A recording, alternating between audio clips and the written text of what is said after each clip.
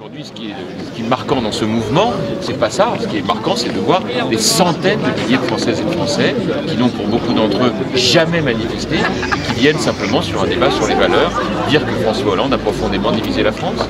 Vous auriez vu l'arrogance cet après-midi à l'Assemblée, c'était de la part de la gauche, c'était inouï.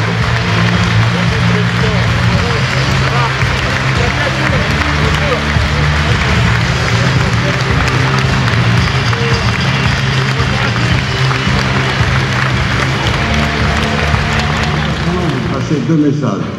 Premièrement, la France est en faillite.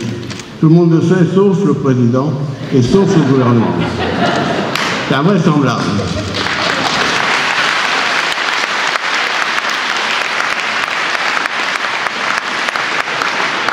Vous avez prévu de ramener euh, le déficit à 3% en 2013. Euh, bah, ça va être 2014, parce qu'ils ne savent pas. Puis peut-être 2015. Euh, le déficit de 3%, c'est quand même 60 milliards de budget, de déficit budgétaire, de, déficit en plus et de dette supplémentaire que, qui va s'accumuler aux 1800 ou 1900 milliards.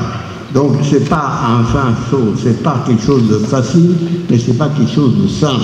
Et il faut arriver à l'équilibre budgétaire.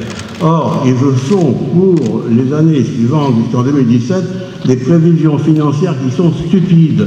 Ils croient encore va faire, que la France va faire 1% de croissance en 2015, 2% en 2016, 2% en 2017. C'est de la folie. Son détour, euh, et j'aborde un sujet un peu épineux peut-être, s'il te plaît. On veut te garder, on ne veut pas à l'UMP des élections en septembre.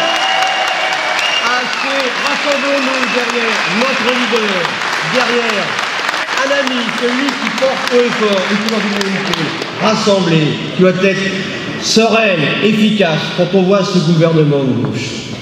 Petite confidence. Nous arrivons à l'Assemblée avec Jean-François et quel bonheur de vous retrouver dans le calme. Avec cette volonté de partager euh, et de discuter sans la pression, sans cette volonté euh, que l'on a de cette majorité d'être écrasé, d'avoir simplement des idées normales, de vouloir s'exprimer naturellement pour être votre porte-parole. C'est le travail d'un parlementaire, le travail euh, d'hommes et de femmes qui pensent haut et fort que la France mérite quand même beaucoup mieux que ce qui passe ce soir et aujourd'hui. Et cette bataille politique aujourd'hui, c'est de se dire, ils sont là depuis un an. Ils sont arrivés au pouvoir sur le mensonge. Ils sont arrivés au pouvoir en vous disant, tout est de la faute de Nicolas Sarkozy. Pas de la crise, pas des erreurs passées, pas de l'Europe, pas de la mondialisation. Tout est de la faute de Nicolas Sarkozy. Et on nous disait, moi président, quoi? Euh, J'ai rien dit encore. Moi président, vous allez vers un océan de bonheur. Et voilà le moi président qui, au bout de moins d'un an, se demande, parce que Franck disait tout à l'heure capitaine de pédalo, mais il n'y a même plus de pédalo, il n'y a même plus de bouée, il n'y a plus rien.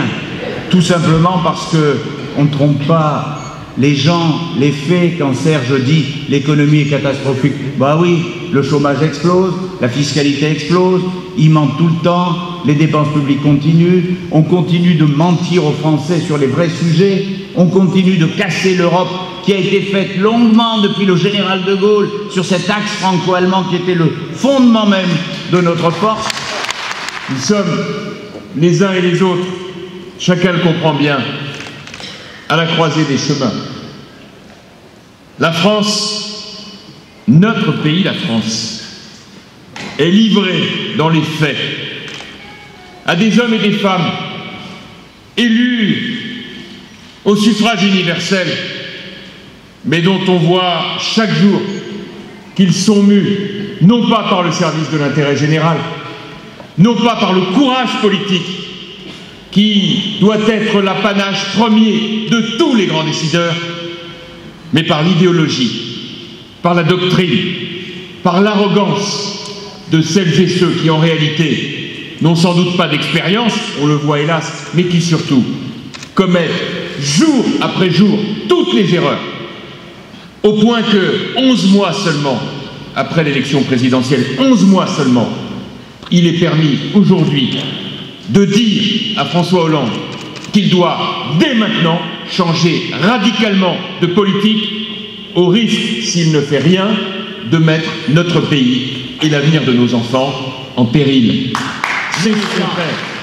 Je vous invite à être fiers, je dis bien fiers, d'appartenir à cette grande famille de la droite et du centre. Car enfin, regardons les choses. Nous,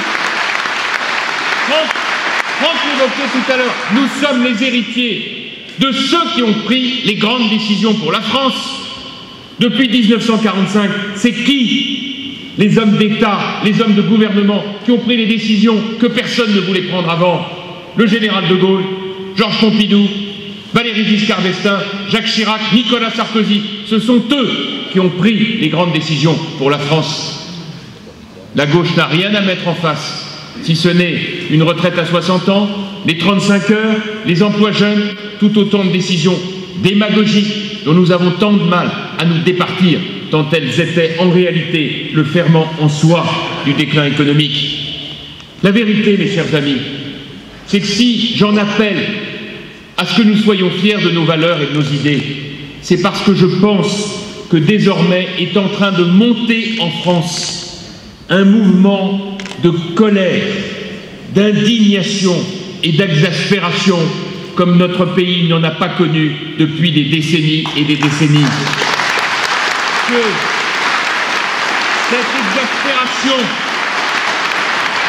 Cette exaspération ne doit pas nous réjouir, mais elle nous engage.